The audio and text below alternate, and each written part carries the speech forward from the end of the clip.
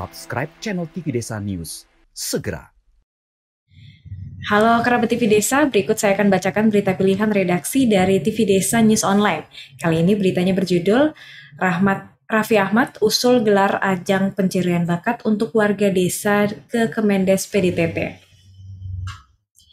Aktor sekaligus presenter Raffi Ahmad mengusulkan agar Kementerian Desa Pembangunan Daerah Tertinggal dan Transmigrasi menggelar ajang pencarian bakat khusus untuk warga desa. Menurut Raffi, keragaman budaya desa serta bakat dan potensi masyarakat desa harus selalu didukung dan dikembangkan untuk pembangunan desa. Bahkan Raffi mengaku juga bersedia membantu program-program pemberdayaan desa, termasuk ajang pencarian bakat dengan memanfaatkan sosial media sebagai alat sosialisasi maupun promosi sehingga dapat dijangkau secara masif nasional maupun global. Menanggapi hal itu, Mendes PDTT Abdul Halim Iskandar mengatakan, ajang pencarian bakat melalui sosial media menjadi pendekatan yang sesuai karena digitalisasi yang telah sampai ke pelosok desa. Rencananya, kata Halim, semua tahap dilaksanakan dengan mengusung konsep asli dari desa dengan cara yang sederhana dan menunjukkan budaya setempat, sehingga populer populer sampai level nasional.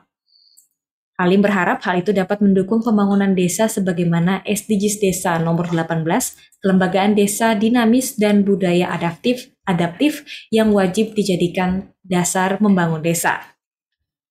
Ke Raffi Ahmad, Halim berharap bisa menambah kepercayaan diri masyarakat desa yang cenderung menurun, sehingga ide dan gagasan yang ada di desa dapat tertuang dan terpublikasikan melalui sosial media dan diketahui seluruh masyarakat Indonesia. Baiklah kerabat TV Desa, berita tadi, tadi ditulis oleh redaksi TV Desa News Online. Sampai jumpa pada berita pilihan berikutnya.